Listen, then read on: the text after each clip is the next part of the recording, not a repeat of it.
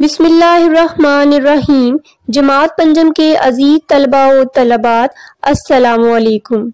आज की इस वीडियो लेक्चर में हम मुआशरतलूम जमात पंजम के बाब पंजम, जिसका उनवान है उनवान है, इसके तमाम मशकी सवाल को हल करेंगे। तो चलिए शुरू करते हैं। पहला सवाल है, खतूत अर्ज़ बल्द किसे कहते हैं? ये तादाद में कितनी है? जवाब है, खतूत अर्ज़ बल्द वो फर्जी खतूत जो ग्लोब पर, नक्शे पर मशरक से मगरब की जाने पाए जाते हैं, कहलाते हैं। इनकी तादाद 180 है। दूसरा सवाल है, खतूत तूल बल्द से क्या मुराद है? इनकी तादाद लिखें। जवाब है, वो फर्जी खतूत जो ग्लोब या नक्शे पर शुमाल से जनूब की जाने पाए जाएँ, उन्हें खतूत तूल बल्द कहते हैं। इनकी तादाद तीन सौ साठ है। तीसरा सवाल है, ख़त इस्तवा और ख़त नसफ नहार आज़म से क्या मुराद है? जवाब है, खतूत अर्ज़ बल्द में सबसे बड़ा ख़त अर्ज़ बल्द जो सिफर दर्जे पर है, ख़त इस्तवा है, और खतूत तूल बल्द में सिफर के ख़त को नसफ नहार आज़म कहते हैं। अब हम इस सबक के तफसीली सवालात को करेंगे। पहला तफसीली सवाल है, मसाहती और रास्ते के नक्शे में फ़र्क वाज करें। मसाहती और रास्ते के नक्शे में अब हम फ़र्ज़ फ़र्क जो है वो वाजे करेंगे। मसाहती नक्शा, ज़मीनी खदोखाल जैसे पहाड़, वादियाँ और मैदान वगैरह दिखाने के लिए मसाहती नक्शे इस्तेमाल होते हैं। इनमें तबी खदोखाल, कंट्रोल लाइनों की मदद से दिखाए जाते हैं। इन लाइनों की मदद से पता चलता है कि कोई जगह कितनी बुलंदी पर वाक़ है। रास्ते का नक्शा। रास्ते के नक्शे में हम अहम जगह, जैसे हाईवे, सड़कें और रेलवे लाइंस वगैरह दिखाई जाती हैं। दूसरा सवाल है, नक्शे पर पैमाना क्यों इस्तेमाल किया जाता है? पैमाने की इकसाम के बारे में लिखें। जवाब है ज़मीन और नक्शे के फासले को एक ख़ास नस्बत से दिखाने के लिए पैमाना इस्तेमाल किया जाता है। पैमाने की मदद से हम नक्शे पर मौजूद मकाम के दरमियान ज़मीनी फासला मालूम कर सकते हैं।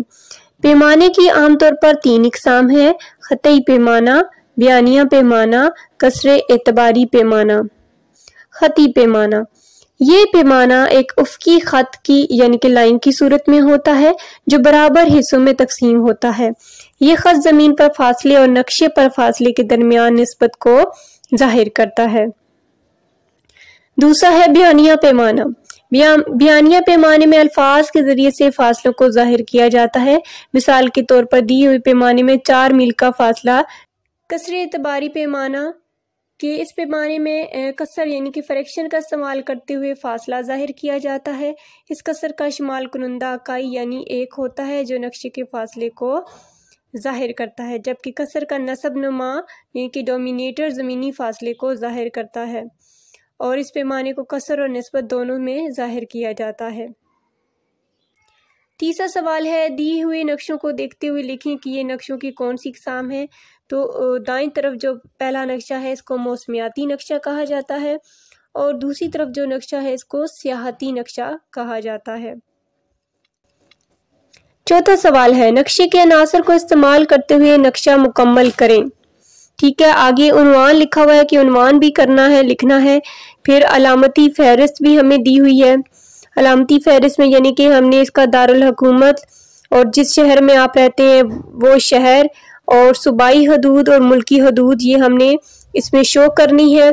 फिर अगले सफ़ा पे आप अगर देखें तो कुछ पॉइंट्स हैं कि पाकिस्तान के शुमाल, जनूब, मशरक और मगरब में कौन से ममालिक और समुंदर वाक़ है, दी हुई जगह में लिखें। पाकिस्तान का दारुल हुकूमत कहाँ है? नक्शे पर स्टैरिक यानी इसको स्टैरिक कहते हैं। कि अलामत इस्तेमाल करते हुए बताएँ। फिर अपने शहर को डॉट की मदद से ज़ाहिर करें। सुबाई हदूद को डॉट लाइनों की मदद से ज़ाहिर करें और अलामती फहरिस्त मुकम्मल करें। तो चलें हम इसके मुताबिक अब करते हैं। नक्शे को देखें। देखें नक्शे में मैंने आ, सारी चीज़ें जो है वो फिल कर दी हैं। दाएँ तरफ़ देखें तो ये देखें मशरक है, ठीक है ना? ईस्ट है इंग्लिश में मैंने लिखा है क्योंकि इंग्लिश मीडियम के लिए भी मैं वीडियोस बना रही हूँ तो दोनों में मैंने लिख दिया है। अब ईस्ट में देखिए, मशरक में क्या है? भारत है, मगरब में कौन सा मुल्क है? अफ़गानिस्तान है, शुमाल में चीन है, और जुनूब में देखें ईरान है, ठीक ना? शुमाल, जुनूब में ईरान है, और जुनूब में उन्होंने समुंदर भी पूछा हुआ था तो बहीर अरब जो है वो वाक़ है। देखिए यहाँ पे मैंने लिख दिया है। फिर जो है कैपिटल सिटी हमने स्टैरिक से शो करना था तो कैपिटल सिटी क्या है? इस्लामाबाद, ये देखिए उसके साथ। स्टैरिक जहाँ पे डला हुआ है, यहाँ पे इस्लामाबाद है। इस्लामाबाद के साथ ही रावलपिंडी है। तो क्योंकि मैं रावलपिंडी में रहती हूँ, मेरा शहर जो है वो रावलपिंडी है, इसलिए मैंने रावलपिंडी को नुक्ता लगा के जो है यहाँ पे ज़ाहिर किया है। आप अपने शहर को वाजे करेंगे, ठीक है ना? जिस शहर में आप रह रहे हैं, उसको।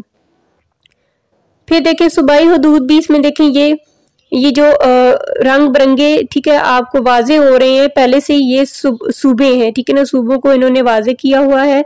और मुल्की हदूद यानी कि जो नक्शे की बाउंड्री या आउटलाइन है, इसको भी देखें प्रोमिनेंट किया गया है। इसको भी आप देख लें। और अलामती फहरिस्त को देखें। अलामती फहरिस्त में दारुल हुकूमत की जगह आप जो है दारकूमत भी मैंने मेंशन कर दिया है। शहर भी, सूबाई हदूद भी, बता दी, मुल्की हदूद भी और उसके सफ़ा के आगे जितने भी पॉइंट्स हैं, उसके मुताबिक हमने इस नक्शे को हल किया है। सवाल नंबर पाँच है, दी हुई तस्वीर में अहम खतूत अर्ज़ बल्द के नाम लिखें। ये पीछे सबक में भी इसके बारे में आप पढ़ चुके हैं तो देखिए, तस्वीर में अहम खतूत अर्ज़ बल्द के नाम मौजूद हैं, आप इसको देख लें। इसके साथ ही अल्हम्दुलिल्लाह हमारा आज का लेसन भी मुकम्मल हो गया है। अगले वीडियो लेक्चर में हम अगले सबक के तमाम मुश्किल सवाल को हल करेंगे। तब तक के लिए अल्लाह हाफिज़।